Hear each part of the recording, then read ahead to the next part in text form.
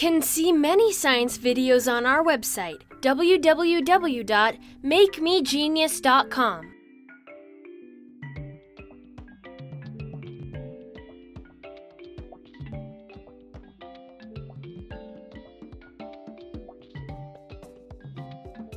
It looks like it's going to rain today.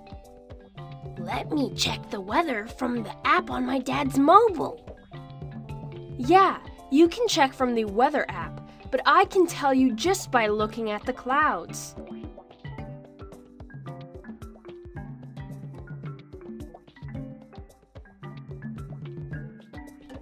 Wow! The weather app is predicting that there will be rains too. But how did you know without the weather app? I knew because I have studied about the clouds. Wow! That's so interesting. Can you teach me something? Let's first ask our friends. Do you want to learn about clouds?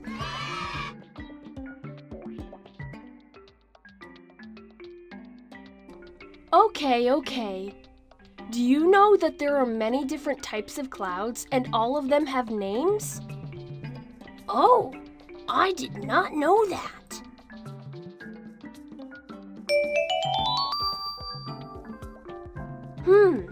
To remember all the names of the clouds, you just need to remember six keywords. Only six keywords? Yes. If you remember these six words, you can easily understand all about the clouds. Hmm. Okay, you all have to speak with me. Let's learn the first three keywords. Okay. Say cirrus, stratus, cumulus. Cirrus, stratus, cumulus. Say it again. Cirrus, stratus, cumulus. All three are very strange words. What is the meaning of them? Yes, these are the three main types of clouds. These words are from the Latin language. They tell us about shapes of the clouds. Wow! Names of the clouds can tell their shapes. Yes, let's learn one by one. Cirrus means hair like. So the clouds that are in the shape of hair are called cirrus clouds? You're right. Cirrus clouds look like horsehair. And cumulus? Cumulus means heap or pile. So cumulus clouds are like a heap of cotton. What about stratus? Stratus means layer. It's like a big blanket across the sky. Oh, they are those clouds that cover the whole sky.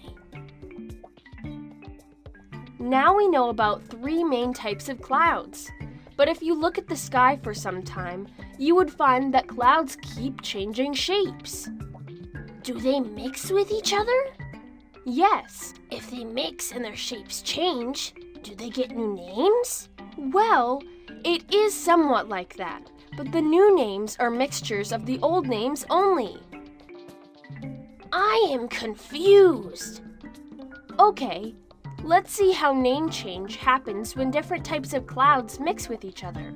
Now, if cirrus and cumulus merge in each other, their names also merge. They become cirrocumulus. Wow! And if I combine cirrus with cumulus, they become cirrocumulus. Similarly, if a cirrus shake hands with stratus, they become cirrostratus. Wow! It is easy. Cirrus and stratus become cirrostratus. Let me guess about when stratus clouds combine with cumulus clouds. Well, they become stratocumulus. Well, you understood it well. So, by remembering only three words, I now know six types of clouds. Yeah, let's revise again. Let me do it. Cirrus, cumulus, stratus, cirrocumulus, cirrostratus, and stratocumulus. Good. Now is the time to learn about two more keywords. I'm ready. Say alto, cirro, Alto. Cirro. Alto and cirro are also Latin words. They tell us about the height of the clouds. Hmm. Alto is used for middle level clouds. That is for the clouds, those are between 6,500 feet to 20,000 feet height. And cirro clouds are higher than alto clouds? Yes. Let's now take three main types of clouds and put them at different heights. So the names of the clouds will change at different heights. Yes, when stratus clouds are at middle level, they are called alto stratus. So we just put alto in front of the name of the cloud? Yes, we just put alto or cirro in front of the name of the main clouds. It depends whether they are at mid level or high level. So if stratus clouds are at higher level, they would be called cirrostratus. Yes. Okay, tell me cumulus clouds are at middle level. What would be added to their name? Oh, they would be called alto cumulus. And if they are at high level, they would be called cirrocumulus. See, it is so easy. But remember one thing it does not apply to cirrus clouds. Why is that? Because cirrus clouds are always found at a higher level only. That's why they have these three letters at the start of their name C I R, as in cirro. You're smart. So we have learned five key words till now. Tell me the sixth.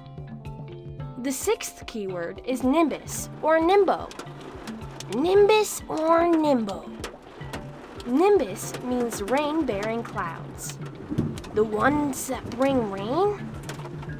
They are the same as cumulus and stratus clouds, but when they have a lot of rain inside them and their color becomes gray or dark gray. And their names? When stratus clouds have precipitation in them, they are called nimbostratus. And when cumulus clouds are full of rain, they are called cumulonimbus. So you just add nimbo to the words stratus and cumulus. Keep in mind, nimbostratus clouds cause lightning but steady rain, but cumulonimbus clouds cause both thunder shower and lightning. Let's revise everything. Let's go in the sky in this magic pod.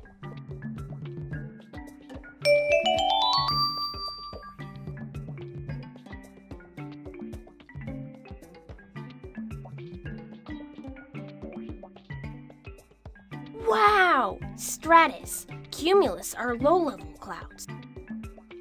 And altostratus and altocumulus are middle level clouds. And look here! These are high level clouds cirrus, cirrocumulus, and cirrostratus. And look here! These are rain clouds, nimbostratus and cumulonimbus. And see, the cumulonimbus is causing thunder shower and lightning. Let's go back now. I have a quiz for all of you. What clouds are these?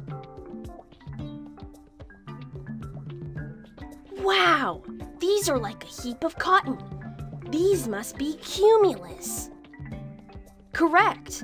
And these? These look like a sheet. These are stratus. And these?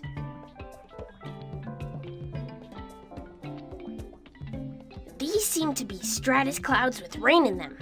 These are nimbostratus clouds. Very good. Guys, this is all about clouds. Remember the six keywords cirrus, stratus, cumulus for shape of clouds.